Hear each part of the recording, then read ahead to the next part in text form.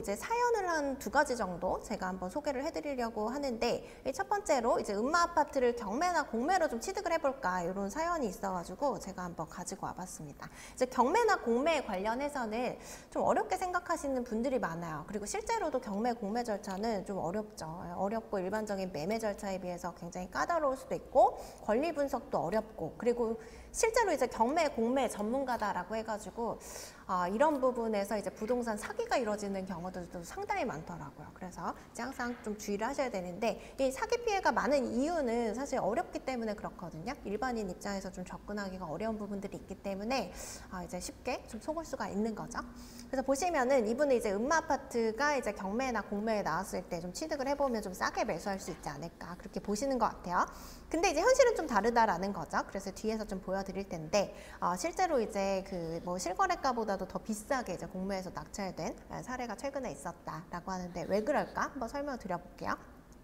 우선 이제 음마아파트 관련해서 한번 보시면은 여기가 지금 매수해도 좋을지 뭐 이 이 부분을 일단 판단을 하셔야지 뭐 경매를 통해서 취득을 하시든 매매를 통해 서 취득을 하시든 결정을 하실 수가 있을 것 같은데 이 음마아파트 같은 경우에는 사실 이제 강남에서 음 굉장히 이제 그 상징적인 의미를 갖고 있죠. 그리고 집값의 좀 바로미터 역할을 하기 때문에 부동산 경기가 막 화랑일 때는 어 음마아파트 재건축 사업 진행이 좀 잘 안 되고 어 그리고 이제 그 부동산 경기가 좀 안 좋다라고 하면 하면 좀 진행이 속도를 내는 뭐 그런 형태로 보실 수가 있을 것 같아요. 그러니까 부동산 경기에 따라서도 이제 여러 가지 정책적인 좀 영향을 받을 수 있는 단지다라고 볼 수가 있는데 아, 그리고 그 한 가지 또 보시는 거는 음마 아파트 재건축 너무 안 되죠. 그래서 제가 아까 말씀드린 것처럼 2003년도에 추진위원회 설립됐는데 아직까지도 이제 그 뭐 조합 설립 정도 이제 하고 그리고 나서 분쟁이 생겨서 현재 또 지금 또 멈춰 있는 상황이기 때문에 어, 정말 재건축이 안 되는 단지다라고 볼 수가 있는데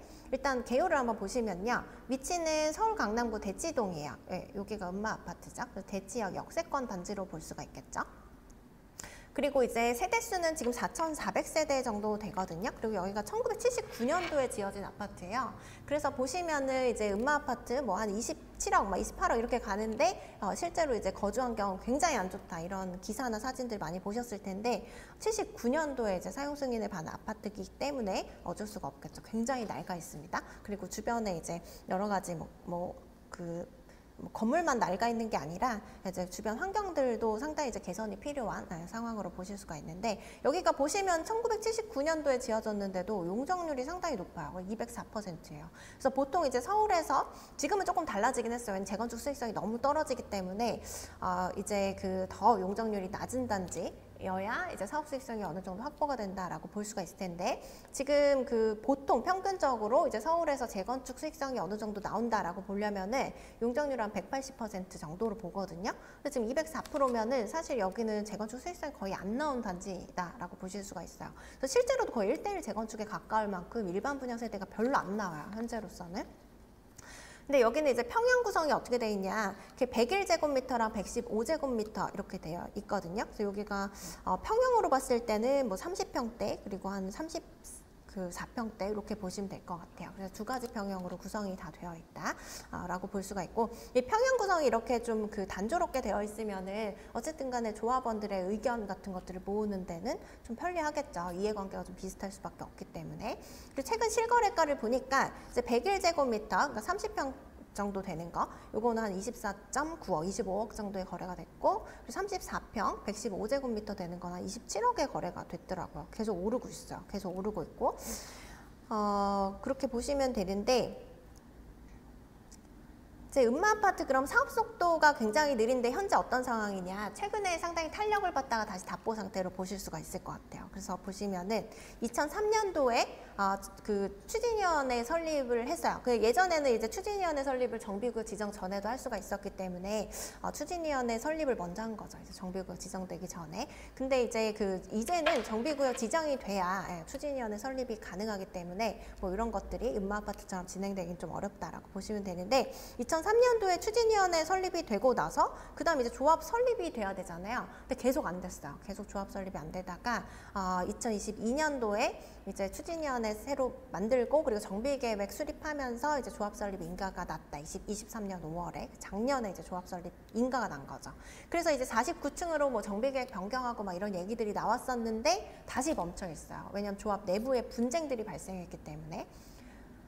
그래서 보시면은 뭐 정비 계획 수립안이 이렇게 나왔거든요. 그래서 2022년도 10월에 이제 정비 계획 수립이 돼서 수정 가결이 됐어요. 그래서 보면은 이 정비 계획 수립안에 따르면은 지금 35층 정도 최고층 수 그렇게 짓고 세대 수는 5,778세대. 이 중에서 이제 공- 공공 임대가 678세대고요. 일반 분양분 한 770세대 정도 나오는 걸로 되어 있고 이거 용적률은 뭐 최대로 받았어요. 299.9%.